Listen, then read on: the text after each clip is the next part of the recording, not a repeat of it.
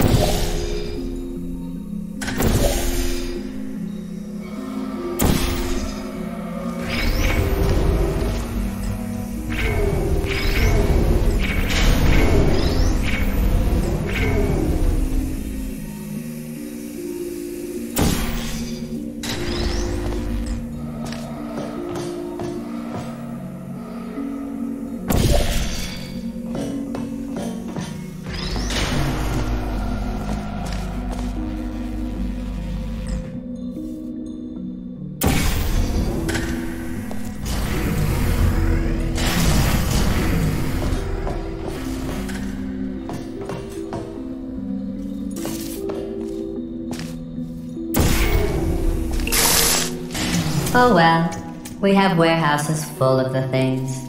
Absolutely worthless. I'm happy to get rid of them. Go ahead and grab another one.